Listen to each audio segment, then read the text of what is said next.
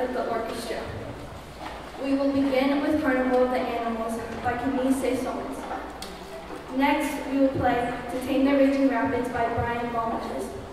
This piece is inspired by a time when the composer's friend fell into the water and nearly lost his life. Then we will play Zoosters Breakout by Hans Zimmer. You may recognize this piece from the movie Madagascar.